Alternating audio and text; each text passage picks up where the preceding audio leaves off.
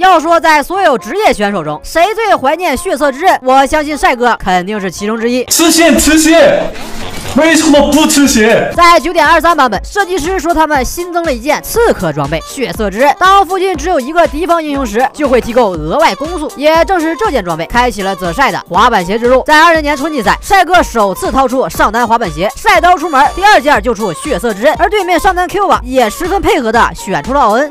放弃上路，是这把上路这兄弟有点惨，火龙直接整，而且因为帅哥 TP 已经交了，我上路就放弃。嗯，你看 Cube 这边又混了一点经验，回家还能踢出来，多好！在本场比赛后，二零年的整个春季赛就几乎不会有队伍敢放泽晒的滑板鞋。那你不 ban 卡莉斯塔，这不让 Chris 上来受罪啊？以后所有队伍打 IG 都得 ban 卡莉斯塔。不过当时的李宁头还是很铁的，直接放出卡莉斯塔，导致自家剑魔只打出了一千多伤害，这是在中路的一个推线传。难受啊！成人时期一个 Q 空掉，W 也空掉，不断的拔毛，赶紧交一个闪现。这又是一一记很痛的 Q 啊！打了三分之一血。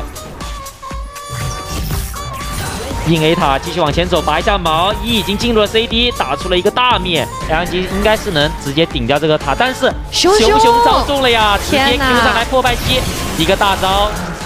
在当年夏季赛，IG 对战 FunPlus 的第二局中，对面前三手又没搬滑板鞋，帅哥邪魅一笑，锁下了复仇之矛。多一点，闪现多一点。哎，没，都是两个。热帅又来了，又突突突往脸上。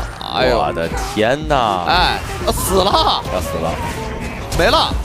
还好交闪现了，打死两个人。这一脚也是为了保护一下自己这边自己的血线啊。虽然很想帅哥在决赛舞台上掏出复仇之矛插穿宙斯，再选一手冠军皮肤，但如今血色之刃已经删除，再加上黑龙这种英雄的存在啊，复仇之矛还是给 Light 玩吧。